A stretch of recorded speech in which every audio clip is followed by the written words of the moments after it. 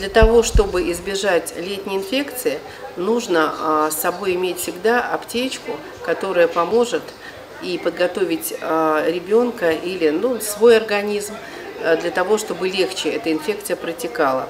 Значит, брать с собой нужно дезинтоксикационные препараты. Это такие, как активированные угли, абсорбенты.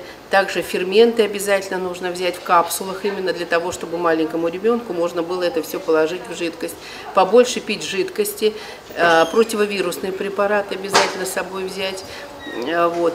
Побольше пить жидкости, соблюдать водный режим, следить все-таки за своими детьми, чтобы наши дети не только не отравились, но и не утонули, это тоже, как говорится, да, вот. И э, все-таки э, носить обязательно в сумочке или салфетки дезинтоксикационные, или вот эти гели.